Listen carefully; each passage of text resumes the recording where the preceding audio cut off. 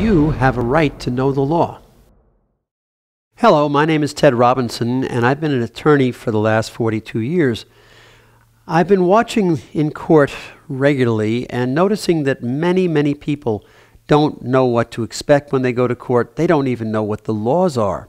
And yet, we are all required as citizens to know what the law is. In fact, ignorance of the law is no excuse is a famous saying used in court all the time. It got me to thinking how do we know the law?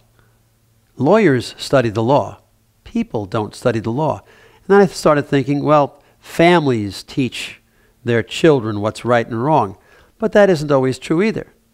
And many times, some parents aren't teaching the law properly to their children, or ne- it never even up, uh, comes up. So I thought it would be wise for us to start to present a series of videos uh, here on um, the internet that will provide people with a way of knowing what the law is so they know what to do, what to follow, so they don't run afoul of the law. Hopefully, you don't need these videos, but for those who do, please watch them and learn what the law is because you have a right to know the law. Thanks.